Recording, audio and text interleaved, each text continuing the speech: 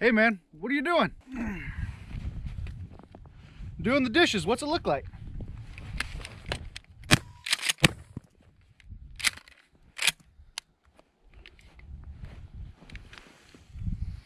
Hey, you wanna try? Heck yeah, I wanna try. Hit me with the shotgun.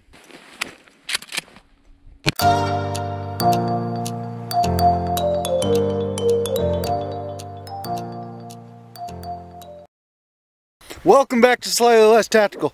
Today we're going to answer another question that nobody's asking.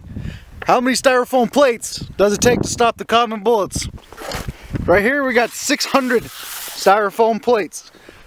We'll see if they stop anything. In the back we got some uh, tropical punch to let us know for sure if we stopped or went through.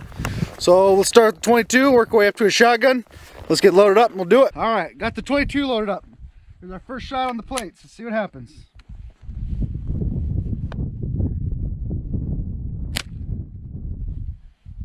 I think it's going to be a really short video. 22 just punched right through it. Let's go take a look. Oh yeah, 22 definitely punched through all of it. Hit right here. Drove through all 600 plates and into the jug. Doesn't even look like it's slowed down at all, so Oh well, let's check some uh, other guns, see what happens, I guess. Let's just destroy this and have fun. So let me load up. All right, since we already made the juice leak everywhere, let's just go hit it with the AK and see what happens. Make that juice really pop. Right, here we go. There we go. That took care of it.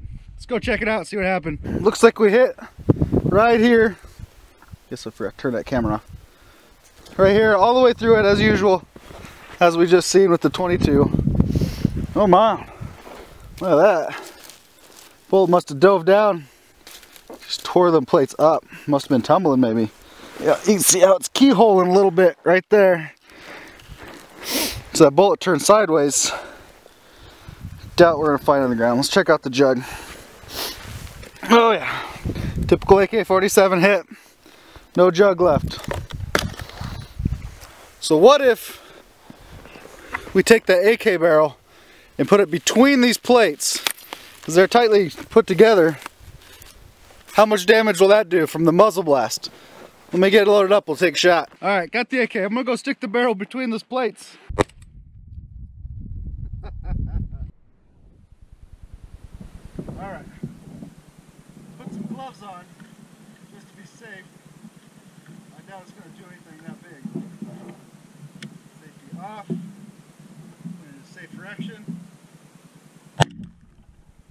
Alright, let's go check out the damage what that 762 did. You see it impacted way over there. Here's the plates. Not as bad as I thought it would be, really.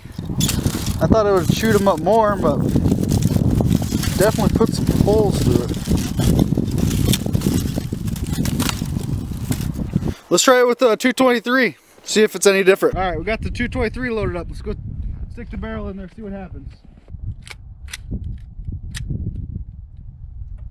All right, where should we go? Back here, I guess. Got a flashlight on here. a little more difficult. All right, here we go.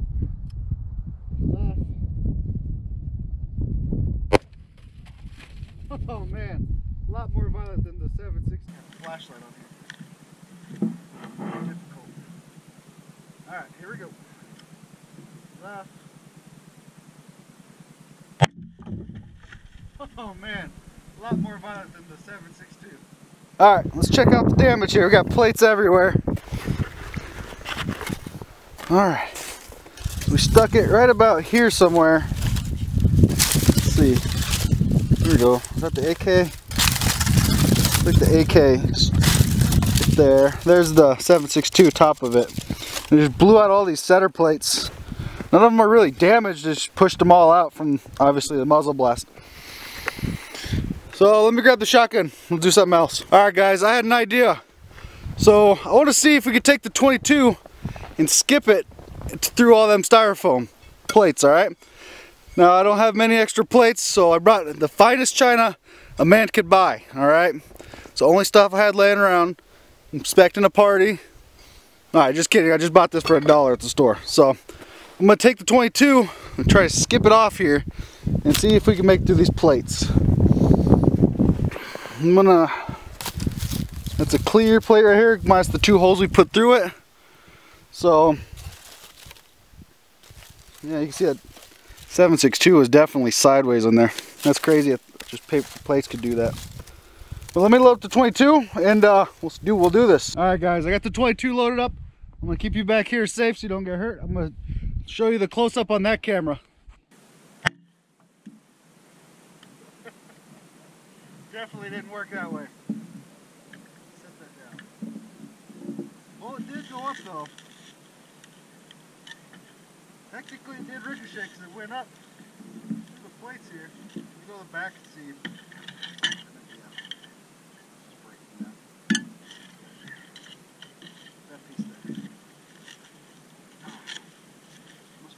Great duct tape, there it is. Alright guys, got the M&P shield. We're shooting full metal jackets. Alright, here we go.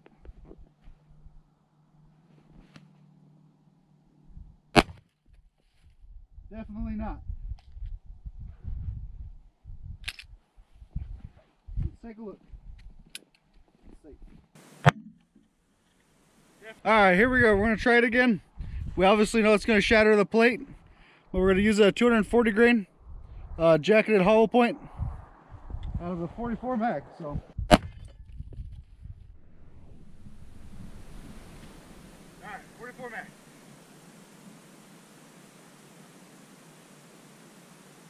I don't even know where it hit. The plate looks fine because that one's completely shattered. I think I have one more around. All right, no more 44 mag, mostly because it's extremely expensive right now and I can't afford it. So we're just gonna shoot some cheap buckshot.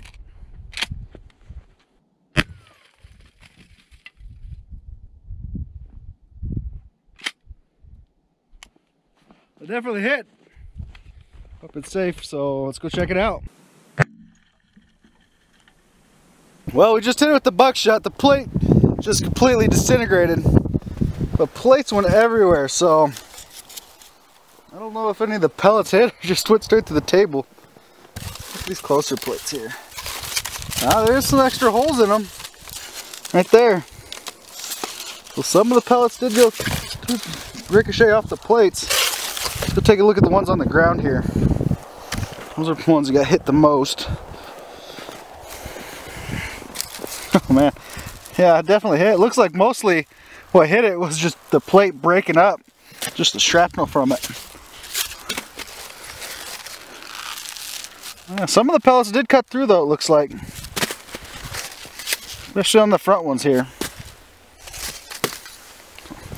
Let me clean this up real quick I'll be get with you. Alright guys, so there you got it. Nothing is stopped by paper, paper plate, or plastic plates I suppose. These ain't paper. But maybe paper will do better. Maybe another time, I suppose, for that video. But thanks for watching Slightly Less Tactical. If you like the channel, please subscribe, like the video, tell your friends, and have a good one.